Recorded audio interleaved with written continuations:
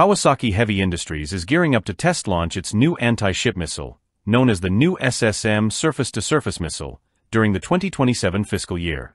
This announcement, made by a company representative on October 17, 2024, at the International Aerospace Exhibition in Tokyo, showcases Japan's commitment to advancing its defense technology. The new missile promises to enhance the nation's ability to respond to regional threats, particularly in the Indo-Pacific region. The new SSM is a long-range subsonic cruise missile that is designed to strike targets from a safe distance, beyond the range of enemy defense systems. Powered by a compact and fuel-efficient turbofan engine, this missile features wings for horizontal flight, giving it an aircraft-like appearance. Due to its similar range, shape, and capabilities, it has been referred to as the Japanese Tomahawk, drawing comparisons to the U.S. Tomahawk cruise missile. Unlike supersonic missiles, the new SSM flies at subsonic speeds, nearing the sound barrier, making it a highly stealthy weapon. Its subsonic nature not only aids in reducing the missile's radar visibility, but also makes it an efficient tool for long-range precision strikes.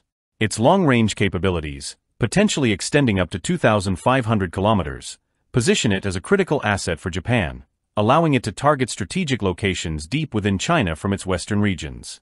Kawasaki Heavy Industries, alongside Mitsubishi Heavy Industries, has been at the forefront of Japan's missile development efforts.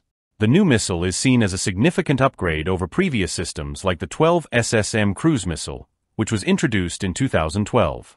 According to a representative from Japan's Ministry of Defense, the new SSM boasts an extended range and enhanced precision, making it a more effective tool for defending Japan's territorial waters and projecting power beyond its immediate vicinity. A key feature of the missile is the KJ300 turbofan engine, specifically developed by Kawasaki. This engine is compact, measuring 950 millimeters in length and weighing 90 kilograms, and provides 365 kgf of thrust through a twin-shaft configuration. The KJ300 is designed to optimize fuel efficiency while maintaining high performance, allowing the missile to travel long distances while conserving fuel. Another notable aspect of the missile is its low radar cross-section, RCS, which enhances its survivability in contested environments. The missile's maneuverability is also a key strength, allowing it to adapt to changing battlefield conditions and evade interception by enemy defense systems. The new SSM can be launched from various platforms, including land-based vehicles, naval ships, and aircraft, offering unparalleled flexibility in its deployment. In addition to the new SSM, Japan's Ministry of Defense has initiated another missile development project.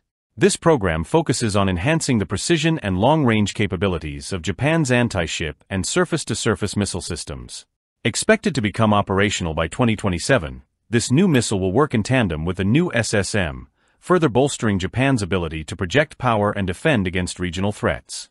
The simultaneous development of these two systems highlights Japan's strategic approach to its defense capabilities.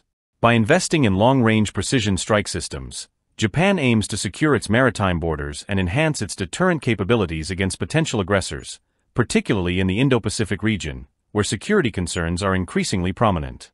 Kawasaki Heavy Industries, new SSM, represents a major leap forward in Japan's defense capabilities. With its long-range precision strike capability, low radar visibility, and flexible deployment options, the missile will significantly enhance Japan's ability to respond to threats in the region. As Japan continues to invest in advanced missile technologies, the new SSM serves as a testament to the country's growing military capabilities and its commitment to safeguarding its national interests in an increasingly uncertain geopolitical landscape.